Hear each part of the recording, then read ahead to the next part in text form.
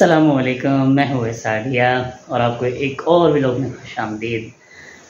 आज 10 मुहर्रम हराम, हफ़्ते का दिन चौदह सौ चवालीस हिजरी फोर्टीन फोर्टी फोर हिजरी। और इंग्लिश डेट के हिसाब से आज है ट्वेंटी नाइन्थ जुलाई 2023 ठीक है कंप्लीट हो गया। अच्छा फ़र्स्ट टाइम ऐसा हुआ होगा शायद ज़िंदगी में कि दस मुहर्रम हराम को बारिश हो रही भाई, वरना दस मुहर्रम हराम को मशहूर है कि बेहतरीन किस्म की गर्मी होती है, टाइट किस्म की। तो आप देख सकते हैं, ये चेक करें। मौसम कितना खुशगवार हो रहा है। और ये देखें भाई, ये देखो ऊपर से पानी भी गिर रहा है। और ये देखें भाई, कितना खुशगवार मौसम हो रहा है। सुबहान अल्लाह तो शायद लाइफ में फ़र्स्ट टाइम होगा मे बी सेकेंड टाइम अच्छा भाई, आज जो टॉपिक डिस्कस करना है वो ये है। अच्छा आज जो मैं आपसे टॉपिक डिस्कस करने वाला हूँ, वो है जेट लैग अच्छा बहुत कम लोगों को शायद मालूम होगा जेट लैग के बारे में। ये लेग वो टांग वाला लेग नहीं है एल ए जी वाला लेग अच्छा जेट लैग होता ये है कि जब आप एक टाइम जोन से दूसरे टाइम जोन में ट्रैवल कर रहे होते हैं तो काफ़ी डिफरेंस यानी कि उन टाइम जोन्स में इतना डिफरेंस होता है कि एक डिसऑर्डर कहलाता है, यानी कि एक अजीब सी कैफियत होती है, जिसे जेट लैग कहा जाता है। मिसाल के तौर पे आपको बताऊँ कि जब बंदा, कोई बंदा अमेरिका या कनाडा से पाकिस्तान ट्रैवल करता है तो जो टाइम जोन डिफरेंस है, यानी कि हमारा टाइम और उनके टाइम में 10 से 14 घंटे का डिफरेंस आ सकता है। तो अच्छा फिर ट्रैवलिंग टाइम भी इतना ही। अगर डायरेक्ट फ़्लाइट लेके आ रहा है तो तकरीबन चौदह घंटे की फ़्लाइट बनती है।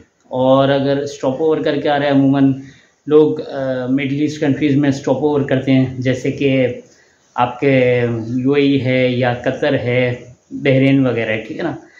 अमूमन ऐसा कम ही होता है कि यूरोप में स्टॉप ओवर करो यूके या टर्की में। तो in any case jet lag जो है वो इस वजह से होता है डिसऑर्डर और ये जो है कुछ दिनों से लेकर कुछ हफ़्ते तक का हो सकता है।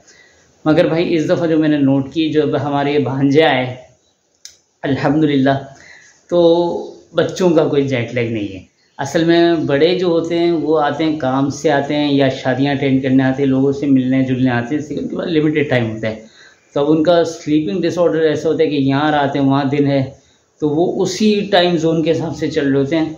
और उनके साथ यही परेशानी चल रही होती है कि यार वहाँ दिन यहाँ, रात यहाँ, रात वहाँ दिन।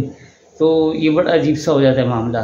तो उनके लिए सोना, जागना अजीब सी कैफियत होती है। मगर बच्चों का ये था, अल्हम्दुलिल्लाह जब ये आए हैं तो जिस रात को आए हैं, वो पूरी रात जागे हैं। चौबीस नहीं, मैं कहता छत्तीस घंटे जाके हैं, अल्हम्दुलिल्लाह।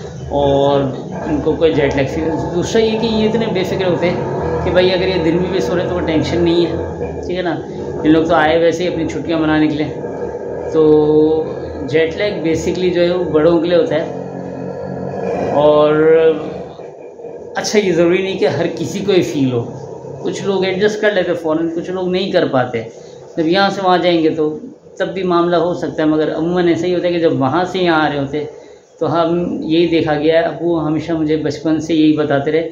जैसे कि अबू ने भी माशाल्लाह ट्रैवलिंग की है तो यही बताते रहे कि ये जो टाइम जोन डिफरेंस है ना, इसमें काफ़ी परेशानी हो जाती है और और लोगों का भी यही एक्सपीरियंस रहा है। तो बहरहाल, ये जेट लैग के बारे में बताना था और ये खुशगवार मौसम आपको दिखाना था। तो अपना बहुत सारा ख्याल रखिएगा। इन नेक्स्ट वीडियो में मिलते हैं।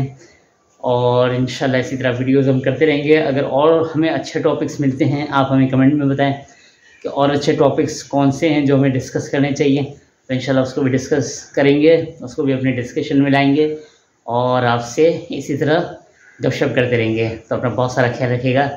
नेक्स्ट वीडियो तक ले। अल्लाह हाफिज़।